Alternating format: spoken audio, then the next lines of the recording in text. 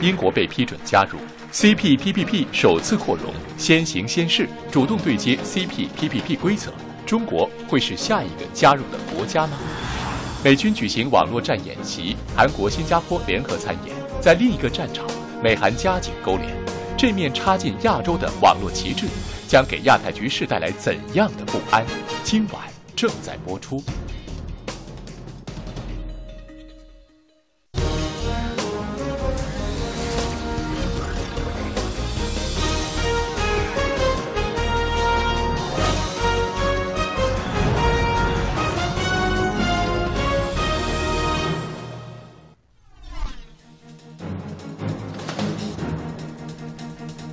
热点事件独家深入解读，就在今晚。我是小雪，我是于飞。全国生态环境保护大会十七号至十八号在北京召开，中共中央总书记、国家主席、中央军委主席习近平出席会议，并发表重要讲话，强调。今后五年是美丽中国建设的重要时期，要深入贯彻新时代中国特色社会主义生态文明思想，坚持以人民为中心，牢固树立和践行“绿水青山就是金山银山”的理念。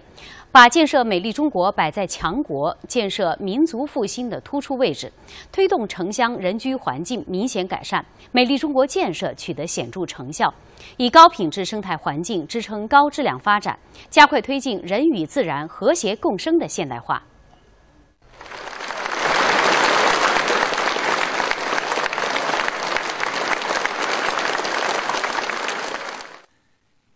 习近平在讲话中强调。党的十八大以来，我们把生态文明建设作为关系中华民族永续发展的根本大计，开展了一系列开创性工作，决心之大、力度之大、成效之大，前所未有。习近平强调，我国生态环境保护结构性、根源性、趋势性压力尚未根本缓解，我国经济社会发展已进入加快绿色化、低碳化的高质量发展阶段。生态文明建设仍处于压力叠加、负重前行的关键期，必须以更高站位、更宽视野、更大力度来谋划和推进新征程生态环境保护工作，谱写新时代生态文明建设新篇章。习近平指出，继续推进生态文明建设，必须以新时代中国特色社会主义生态文明思想为指导，正确处理几个重大关系。一是高质量发展和高水平保护的关系，二是重点攻坚和协同治理的关系，三是自然恢复和人工修复的关系，四是外部约束和内生动力的关系，五是双碳承诺和自主行动的关系。习近平强调，要持续深入打好污染防治攻坚战，坚持精准治污、科学治污、依法治污。保持力度，延伸深度，拓展广度，深入推进蓝天、碧水、净土三大保卫战，持续改善生态环境质量。习近平指出，要健全美丽中国建设保障体系，统筹各领域资源，汇聚各方面力量，打好法治、市场、科技、政策组合拳。要强化法治保障。统筹推进生态环境、资源能源等领域相关法律制修订，实施最严格的地上、地下、陆海统筹、区域联动的生态环境治理制度，全面实行排污许可制，完善自然资源资产管理制度体系，健全国土空间用途管制制度。习近平强调，党中央、国务院。近期将对全面推进美丽中国建设作出系统部署，各地区各部门要不断增强责任感、使命感，不折不扣贯彻落实党中央决策部署；地方各级党委和政府要坚决扛起美丽中国建设的政治责任，抓紧研究制定地方党政领导干部生态环境保护责任制，建立覆盖全面、权责一致。奖惩分明、环环相扣的责任体系，各级人大及其常委会要加强生态文明保护法治建设和法律实施监督，各级政协要加大生态文明建设专题协商和民主监督力度，要继续发挥中央生态环境保护督察利剑作用。国家主席习近平十八号下午在人民大会堂北大厅举行仪式，欢迎阿尔及利亚总统阿卜杜勒马吉德特本对我国进行国事访问。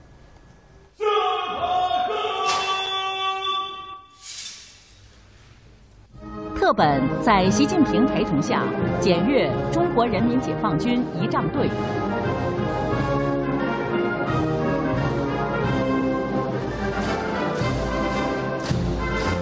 特本是应习近平的邀请，对我国进行国事访问的。欢迎仪式后，习近平主席同特本总统举行会谈。习近平指出，今年是中阿建交六十五周年，中方愿同阿方一道努力，发扬光大传统友谊，推动中阿全面战略伙伴关系取得更大发展。习近平强调，双方要在涉及彼此核心利益问题上相互支持，双方要携手落实好共建“一带一路”等重要合作文件，深化在基础设施、石油化工、矿产、农业等传统领域合作，拓展航天、核能、信息通信、可再生能源等高技术领域合作，培育合作新增长点。推进新闻、旅游、青年、体育、智库等领域友好合作，夯实两国民意基础。习近平指出，中方愿同阿方加快落实首届中国阿拉伯国家峰会成果，实施好中阿务实合作八大共同行动，加强中非合作论坛框架内合作，落实好论坛达喀尔会议成果。推动构建新时代中阿中非命运共同体。特本表示，感谢中方长期以来向阿方提供各种宝贵支持，阿方坚定支持中方在台湾、涉疆等核心利益问题上的立场，支持中方提出的全球发展倡议、全球安全倡议、全球文明倡议，愿积极参与共建“一带一路”。深化阿中全面战略伙伴关系，助力阿实现国家经济社会发展。会谈后，两国元首共同见证签署农业、交通、科技、电信、城市可持续发展、贸易、航天、检验检疫、能源、教育、体育等领域多项双边合作文件。双方发表《中华人民共和国》。和阿尔及利亚民主人民共和国联合声明。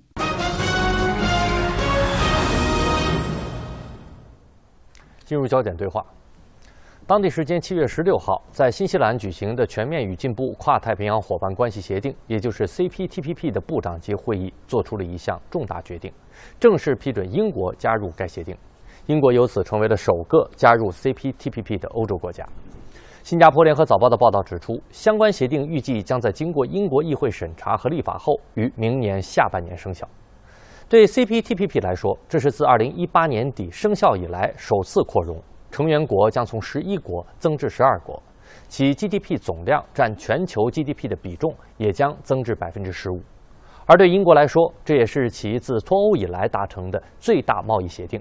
加入 CPTPP 之后，英国向其他成员国出口的百分之九十九以上的商品都可以享受零关税。随着英国正式加入 CPTPP，中国何时可以加入也成为各方关注的焦点。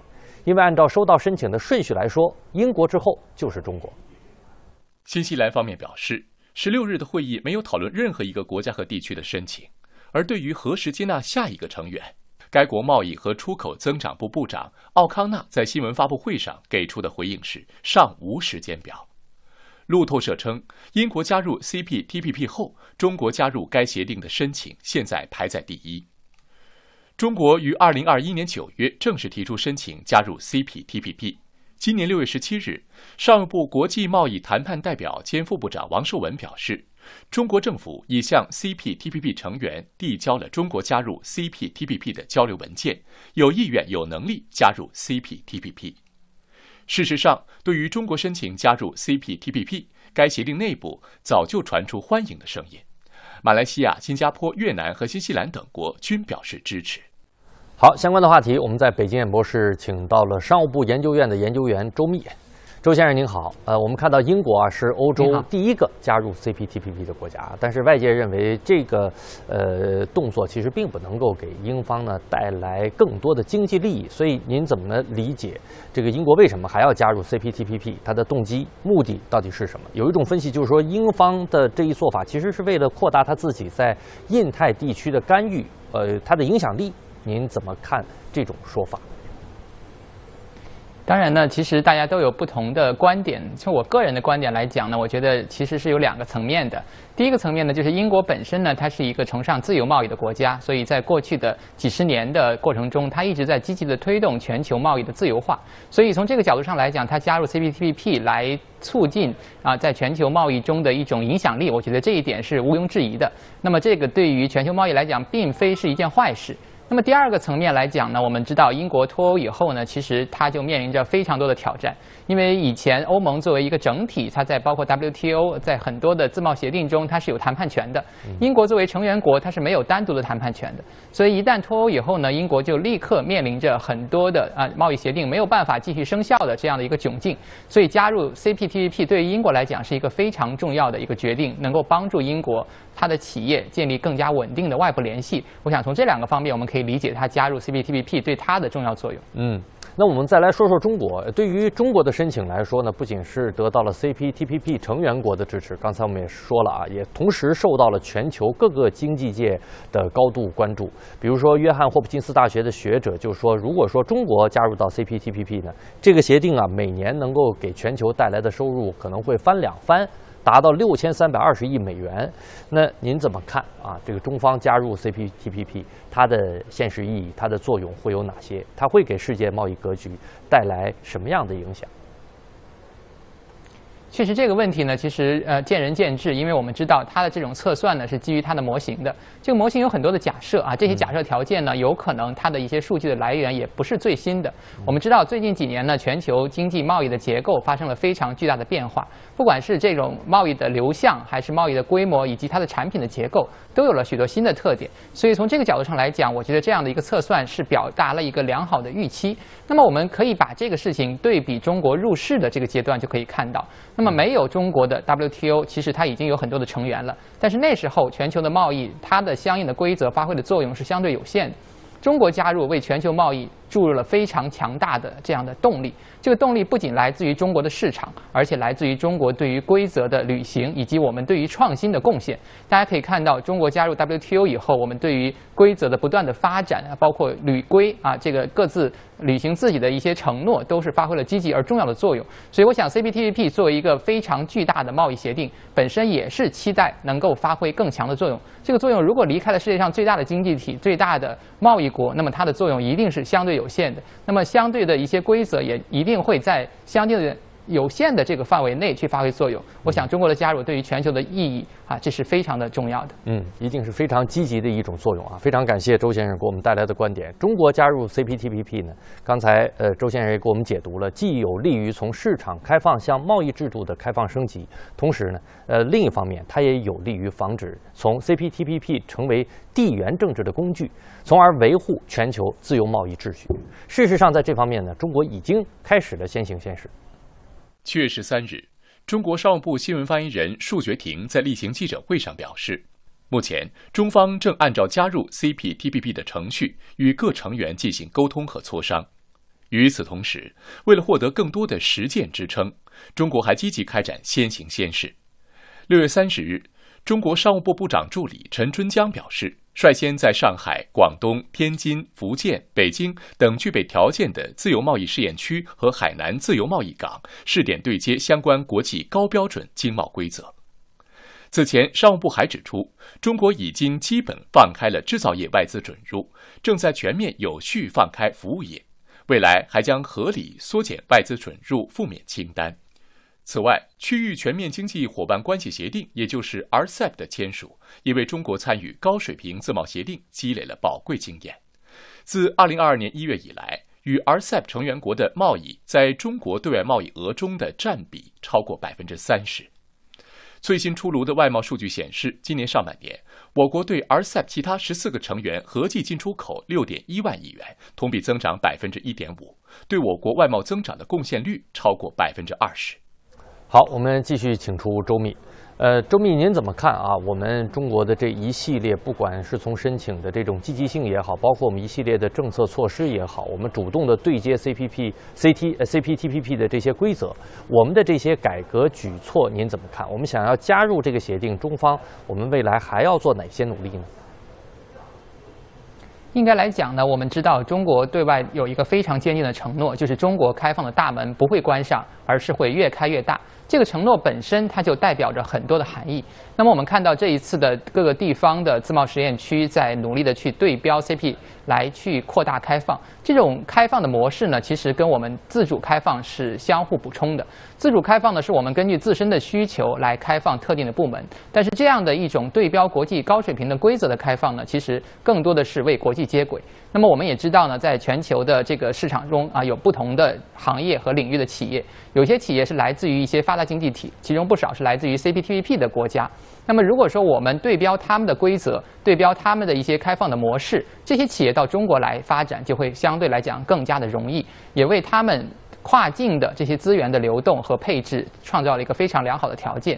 那么，为了对标 CPTPP 呢，其实中国一直在走地方开放实践的这条道路。二零一三年上海自贸实验区到现在十年以来，我们形成了一大批的开放的经验。这些经验并不仅仅在这些自贸实验区，它也是在。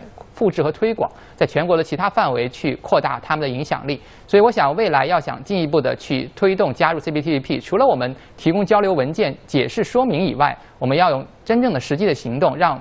其他的 CPTPP 的成员看到中国加入 CPTPP 不仅是有可能有基础，而且会给各方带来更大的发展的利益的。嗯，确实，我们在这方面一直有一些可见的这个努力，而且我们确实刚才像您所说，中国加入 CPTPP 呢，会带来很多的可见的好处。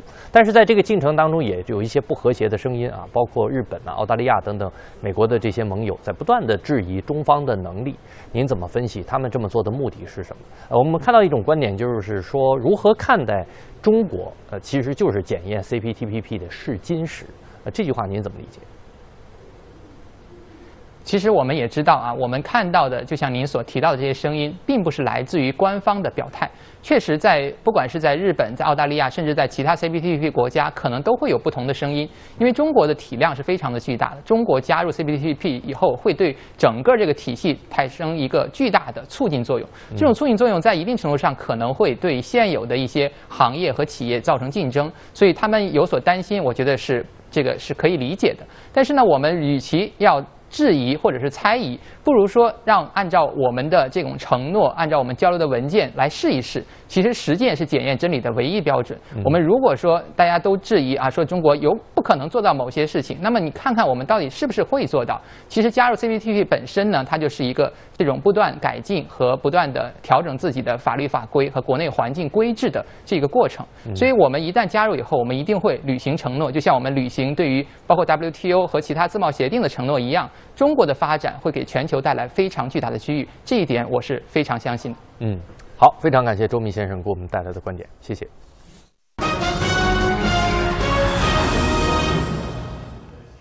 据韩国媒体报道，韩国网络作战司令部于十七到二十八号参加美国主导的网络旗帜多国联合网络攻防演习，这是自去年的十月以来韩国第二次参加该演习。韩国国防部十七号发布的声明表示。此次在线演习旨在磨练多国合作应对网络威胁和相关信息整合分析的技能以及整体作战能力。除了韩国，同为亚洲国家的新加坡也参加了今年的联演。此外，还有五眼联盟成员澳大利亚、加拿大、新西兰以及英国等。对于第二次参加该演习的韩国来说，演习之外的深化合作也是重点。韩国国防部表示，韩美还将通过网络司令部之间的双边演训、网络专业人才及技术交流等，发展韩美网站协作机制。去年十月，韩军派十八人首次参加了网络旗帜演习。随后，在今年五月的韩美国防网络合作工作组会议上，韩方提出将定期参加该演习。美方此前答复会积极考虑，后来予以批准。网络旗帜演习由美国网络司令部主办。自二零一一年起，每年举行一次。美军高层表示，网络领域被视为第五战场，它能干扰敌军指挥部队，阻挠敌军侦察战况，甚至破坏敌军的金融活动等。有关这个话题的解读，我们马上要连线的是特约评论员宋忠平。忠平，除了分享情报的五眼联盟之外，美军主导的网络旗帜演习还拉上了韩国和新加坡，分别是出于什么目的？另外，我们也特别关注到，这是韩国的尹锡悦政府上台以来韩国的第二次参演了。那此前呢，也曾经表态说是希望每一年都能够参演。怎么来看尹锡悦政府当下的这些举动？实际上，这里面我们需要从两个层面来说。第一方面的话，就是五眼联盟，它是个情报联盟，但是情报如何来获取？其中通过网络来获取情报是一个主要的方向。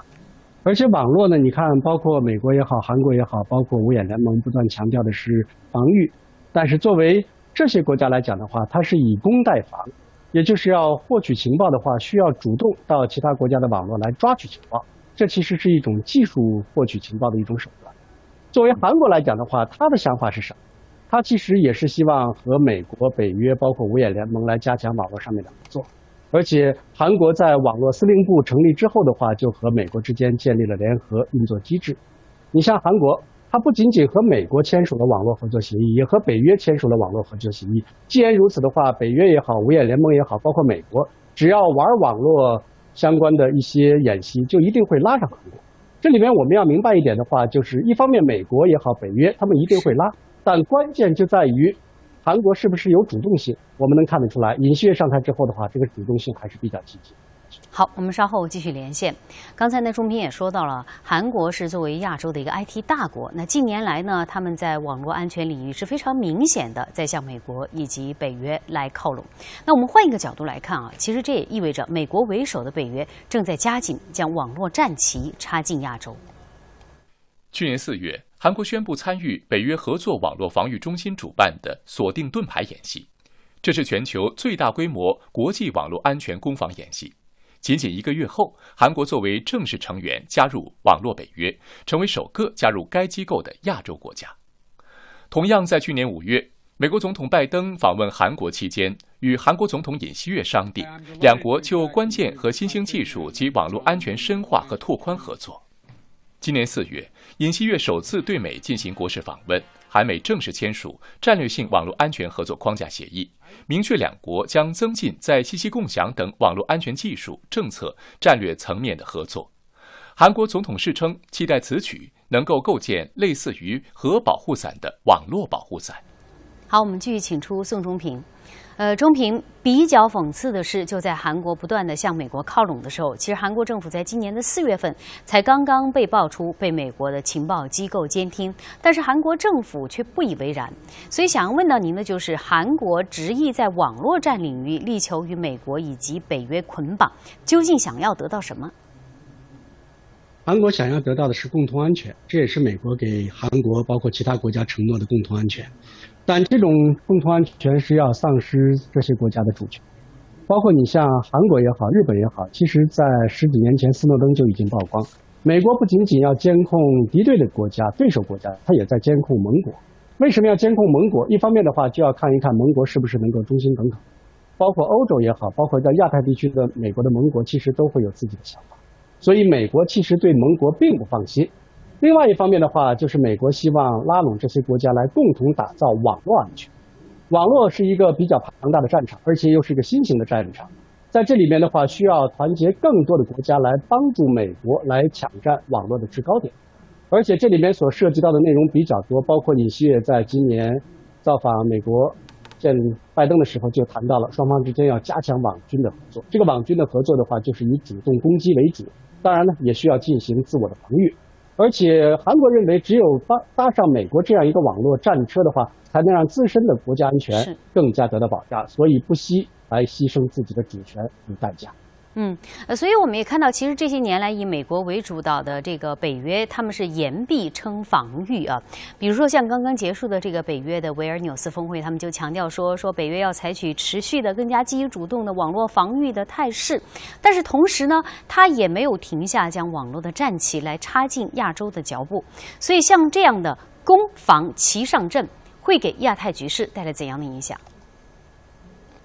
我觉得亚太局势也好，全球的局势也好，都会越来越紧张，就是因为现在包括美国所打造的是混合战争，混合战争里面是包括网络战争这种模式。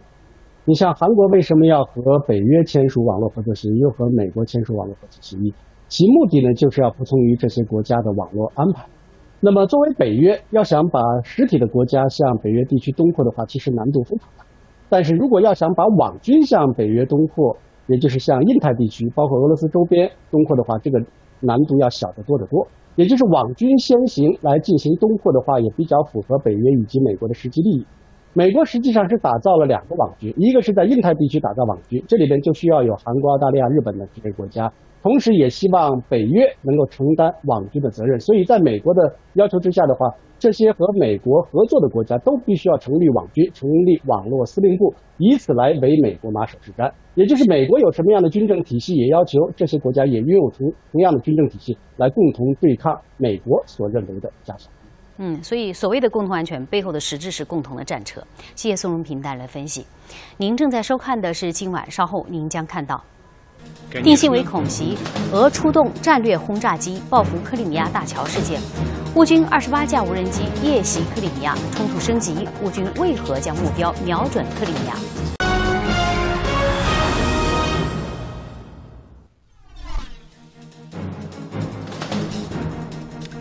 接下来进入到全球眼，我们继续来关注俄乌局势。克里米亚大桥遭袭之后。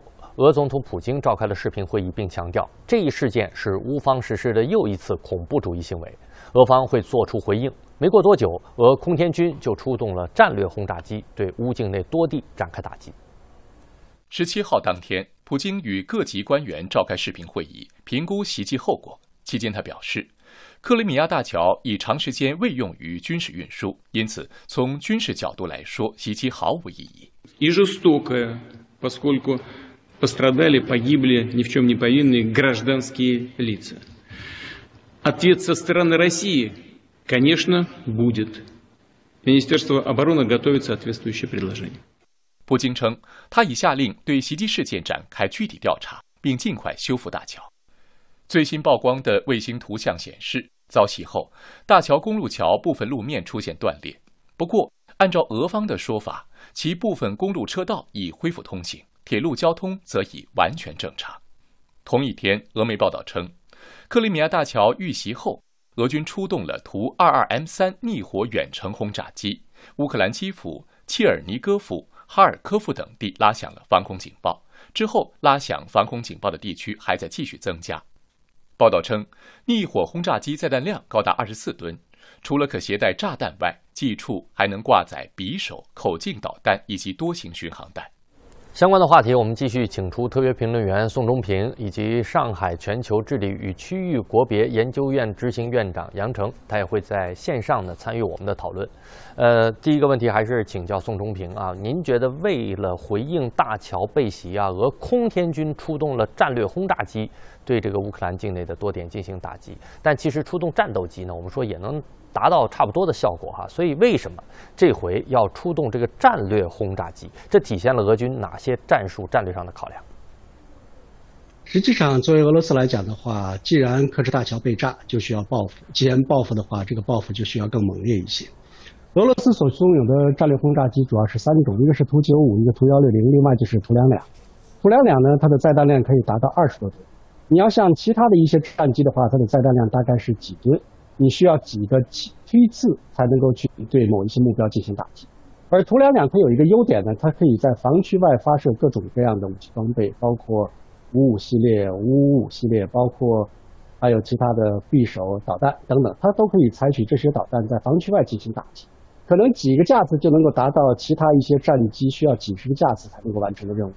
这个就是为什么要出动这种战机，包括之前在巴赫穆特也好。马里乌波尔也好，俄罗斯也是采用这种战略轰炸机来实施自己的战略和战术打击目标。包括你像战略和战术打击目标的话，包括有一些港口，尼古拉耶夫的这些港口，俄罗斯认为这些港口的某一些船只，包括一些补给的地方，帮助这些无人艇去攻击了克什大桥，所以这些基础设施必然会被打击。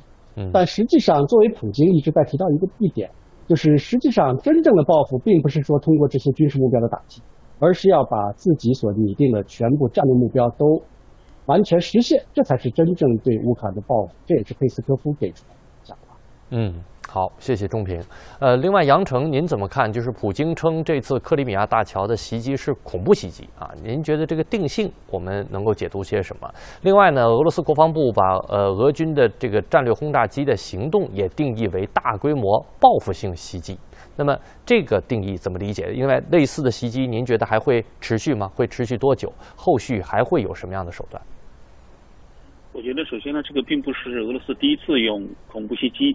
来定性呃乌克兰这个针对克里米亚的一个相关的行动。嗯，俄罗斯这次呢这样导致这个平民伤亡作为一个证据，试图呢用这种方式来否认呃乌克兰针对克里米亚的任何行动的一个政治的正当性和合法性。这就预示着呢俄乌冲突呢将继续延续以前的呃爆发以来的一个所谓的这个这样一个全方位的一个性质，也就是说双方呢都会致力于正当化自身的一个行为，而将另外一方呢在话语上呃置于一个所谓的不道德的这样一个境地。这可能会是一个长期的，而不是短期的系统呢，不是一个个别的一个现象。嗯，所以说这个俄罗斯的战略轰炸机呃大规模报复袭击呃会持续多久？